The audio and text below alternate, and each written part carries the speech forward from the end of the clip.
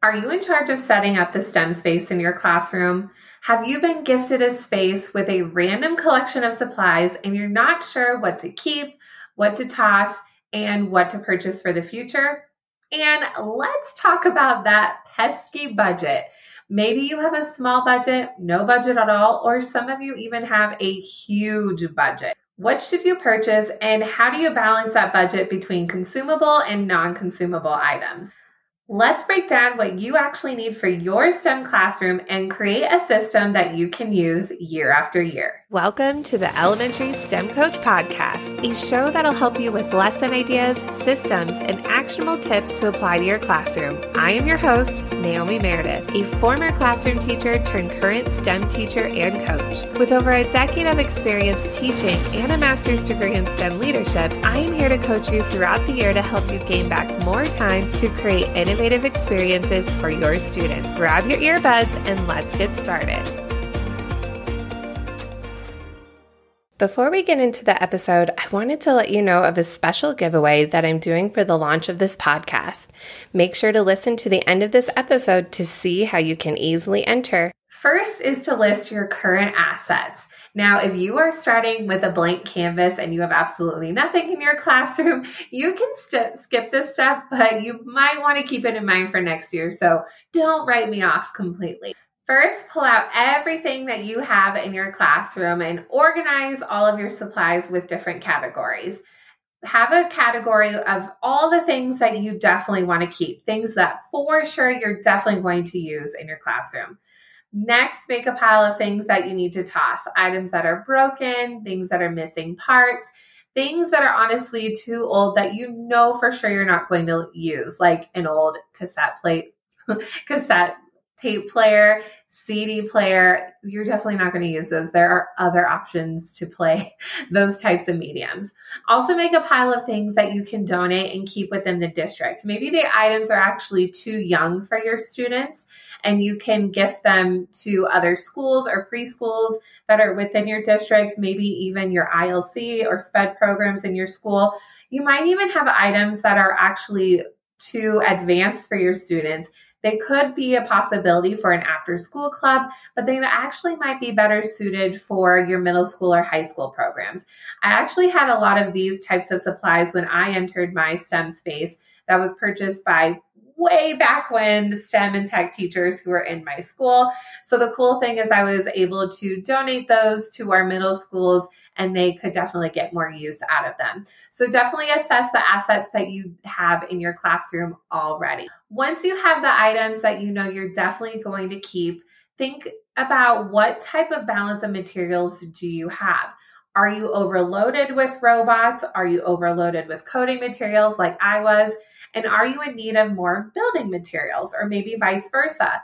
Maybe you have a lot of makerspace items and don't have any robots at all. So definitely think about the balance because when you move forward with these supplies, this is going to help you keep in mind the types of lessons that you want to be planning. And again, you definitely want to have your lessons have a balance of all of these types of materials. Once you are aware of all of the assets that you definitely have in your classroom, next you need to think about creating a budget. Now, budgets are really tricky, especially in the STEM space. Some teachers don't have a budget, some have a little bit, some have a lot. But there are opportunities to gather materials, whether you have money or not. Again, we will be talking about how to be creative with the funds you may or may not have. So, first, you want to know how much money that you have available and when you actually need to spend that by. Some schools are really particular about when money needs to be spent at certain times of the year. Some are more flexible and let the funds carry over year after year. Find out what this means for your school and how and when you need to spend your budget. Once you have your budget set in place, this is a great opportunity to create donation opportunities. Amazon has a great selection for you to get started on a wish list. You can easily get that set up and keep adding items throughout the year, and you can share with your families and friends outside of your school. Donors Choose is also another great opportunity to create a grant for your classroom, and they will actually walk you through step by step how to write that, give you examples of what you could purchase for your classroom. And then they'll actually purchase the items once it's fully funded and send them to your school. The process is so easy. I've definitely had things funded in the past and now paying it forward into other classrooms and helping fund their projects as well. Another way that you can be flexible with your budget that actually won't cost you anything is to reach out to other STEM and science teachers within your district they might have items that they have purchased already and they might be willing to let you borrow them for a unit. This can really help you as well to try things out if you do or do not actually want to buy them. You might also have items that another teacher would love to try as well, and you guys can do a little bit of a swap. I have a few friends in my district where we do this, and it's such a great opportunity to help out their students so they have enough supplies and vice versa. The last suggestion actually goes into this next tip is to really be creative with materials. There are a lot of ways to build up the supplies in your classroom that doesn't cost anything. So, first, think about the consumables and non consumables in your classroom. So, what I mean by this is consumables are the things that once students use them, they are used up. You can't use them again no matter what your budget is, you want to somehow get your hands on lots of tape. Kids love tape. I think it's the new pencils. I'm pretty sure kids eat tape. So definitely set aside a budget for that. I set limits on tape. I make baby tape rolls where I wrap a certain amount and wrap it around a popsicle stick, and that's their tape limit. But I swear, I don't know where this tape goes. They love it. so think about those consumable items that students love, love, love tape and how you can have a budget and gather um, donations for that. Also, have a balance with your non consumable items. So sometimes you might want to purchase things that are a little bit more expensive, but you know are going to last a longer amount of time. My best example is when I'm thinking about robots, and there are the Code and Go mice and the Bee Bots. They are very, very, very similar robots. They pretty much do the same thing. But I teach over 500 kids, and the Code and Go mice that I have found are not the most durable when it comes to hundreds of kids using them. The Code and Go mice are awesome for a home robot, and I suggest this for students if they love coding at home. This is a great robot. It's about 20 bucks or so. Definitely buy the Code and Go mice. But as an investment, I do purchase the Bee-Bots or even the Blue Bots. The Blue Bots are even cooler. They can connect to iPads using Bluetooth. So if you can invest in Blue Bots and have iPads to connect, I definitely recommend those. But either way, the Bee-Bots and Blue Bots are a great investment of my money. I know that they're going to last, they're durable, and also they don't use batteries. They have a rechargeable battery. So they are worth the investment. Also, when purchasing, especially when it comes to those non consumable items that will eventually become out of date, you don't always need a class set. Again, you don't need a class set a big part of STEM is being able to collaborate and use those materials as a team. So if you're buying enough one for every kid, where's the collaboration? They're working on their own. So even think about how you could buy items where it works for about half of the class where they can work in pairs even in thirds could they work in groups of three or even even smaller how could they work in a station rotation? So maybe even having six of an item. Again this is really awesome too if you're unsure about a material if you would like to buy more or not start small, start enough for where it could be a station rotation and build up from there. Definitely be creative. Don't buy a full class set. Don't go all in when you're first getting started. You might not even like the tool or might have found you don't even have time to use it.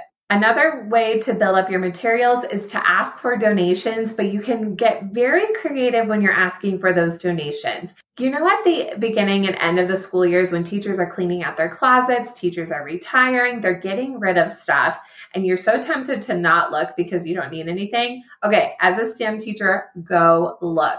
You will be amazed by how many science supplies you will find from Past Science Kit, math manipulatives that kids can build with even lined paper, which is great for planning. You can find a ton of stuff in your own school building. Even send out an email. Some teachers have kids who are growing up and they want to get rid of a big bucket of Legos. Take them up on it. There are resources in your own building that you can definitely pull upon. If you know you're going to start a makerspace project, set out a box in your teacher's lounge and have teachers put in the boxes from their breakfast and lunch meals that they're heating up in the microwave and save that cardboard for your projects. That is the best cardboard to use, by the way. All kids can cut it with regular scissors. Another way that you can be creative when gathering your materials is have a Lego donation day. So have kids bring in those little snack bags filled with some basic Lego bricks. And if you have about 500 or so kids in your school, that's a lot of basic bricks that you can add to your collection. That would be a really cool thing to do for your back to school night have kids bring you in a snack size bag and maybe you give them a cool sticker in return or another little behavior incentive for thanking them for their donation. Also consider reaching out to local businesses. Businesses are looking for ways to have tax write offs, and especially when it comes to STEM education, this is a big opportunity that businesses are just waiting for that connection. They might have materials from their company they would love to give you, or even if you write a Hill grant opportunity that in return they'll purchase items that you're looking for. There's again so many businesses who would love to help, they just don't know how. They're just waiting for those connection pieces. And finally, when you are building up the supplies in your STEM classroom, you want to plan ahead. You won't get everything that you want your first year. If you do, I want to come to your class because it would be amazing. But plan ahead. Have an ongoing list of supplies that you would love to have. This is great because, again, what if a business reaches out to you and they ask, What do you need? Then you have a list of things you already know that you would want and you can hand it over. Same with things with PTOs, with parents. So again, you are prepared with that list. Also for your planning ahead, plan for repairs. You're going to set all those systems, routines, and rules for all of the things in your classroom, but things will break. Now, less things will break if you do have those systems and routines and rules. And so you won't have as many repairs, but accidents happen, things break with wear and tear. So, have, if you can, set aside a budget or what you're going to do if things do break. What is your plan for? Now that you have all of these tips and tricks for setting up your STEM space, let's recap of those four major ideas that we talked about. Number one, list those current assets. Number two, create a budget. Number three, be creative when gathering materials. And number four, plan ahead. Now that you have the system for setting up the supplies in your classroom that you can use year after year, you probably want to know, oh my gosh, what exactly do I need right now? Just tell me exactly the things I need to buy. I will tell you.